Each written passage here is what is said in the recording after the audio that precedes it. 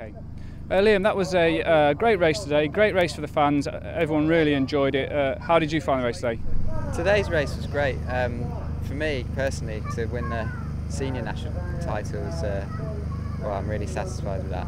And um, the course here was a really good racing course. Kept the riders pretty tight together, um, and you couldn't switch off at all. It was lots of twisty, turny, up and down sections, which uh, made it pretty challenging.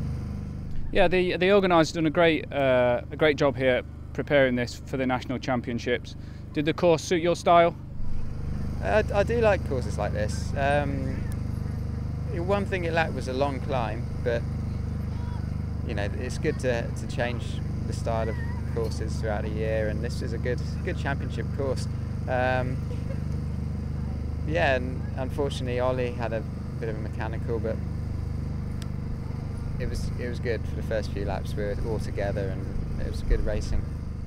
And and so what what are you going to move on from this? Where are you going next? And what's your preparation in the build up to uh, Beijing?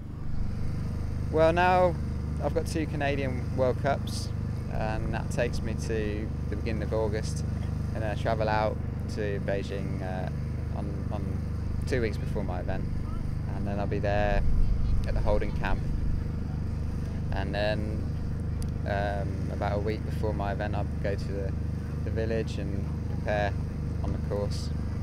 And, and I take it you're going to plan to uh, your peak right on, on, on race day. For sure, the Olympics is a big goal of mine.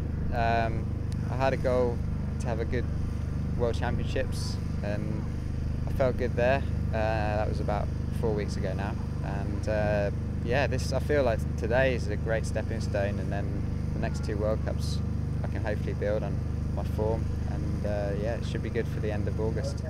Okay, well, uh, well done on today. Congratulations and thanks a lot. Thank you.